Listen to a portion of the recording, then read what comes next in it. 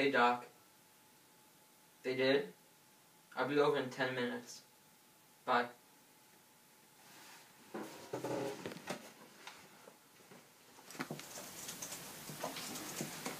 Oh, hi, Austin. Hey, Doc. How are you today? I'm well. It's good. So, um, your test results came in. What did they say? Uh, you tested positive for AIDS. What's that?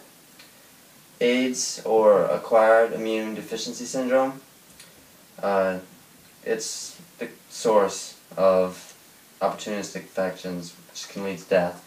It's caused by HIV, which is obtained either sexually or through blood contact with others, and it's not a condition to be taken lightly. Do you know how I got it? Like I said, either through sexual contact or through blood. Uh, the origin of HIV isn't known, but the most common theory is the hunter theory. Alright, today we are hunting the amazing African gorilla. Alright, these things are very rare, and I have found one today, alright? We just look right over there. There he is. Look at him, he's on the move. Alright, now just follow me, just follow me.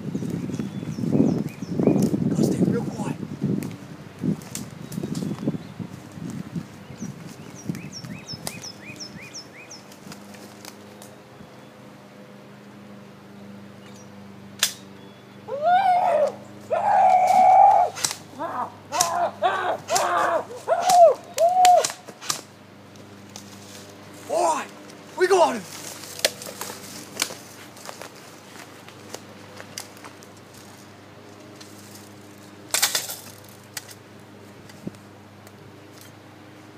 let's skin this bad boy. You see, when the hunter ate the meat, he ingested the infected blood and obtained the simian immunodeficiency virus, or SIV, and it transformed to HIV, which is the human immunodeficiency virus. And the epidemic spread like wildfire from there. How bad is it? Well, HIV, as I said before, leads to AIDS, which is the condition in which you your immune system is fully weakened and you can obtain opportunistic infections, which can lead to death. Like, for example, toxoplasmosis or herpes. You don't want those.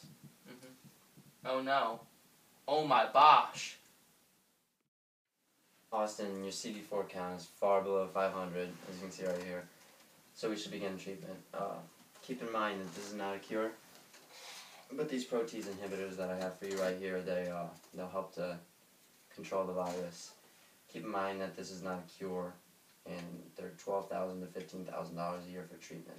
So you're saying I'm gonna be fine then, or will I die? Well, there's a sixty percent chance that this will work, and there's a forty percent chance that it won't. What are you trying to say, Doc? This is a huge risk. So what's the best way to go against this? The only surefire way of preventing AIDS is to never have unprotected sex so you're not sure if they're clean or not, and never share needles, and be as careful as you can with letting other people's wounds getting into your own wounds. Um, hmm if you're born with AIDS, you can't prevent it. It's just, just there.